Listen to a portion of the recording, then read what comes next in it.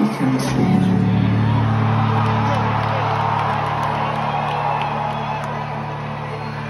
you're right here with this version of you.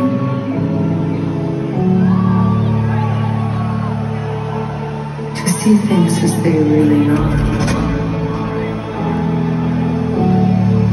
This version of you looking at you.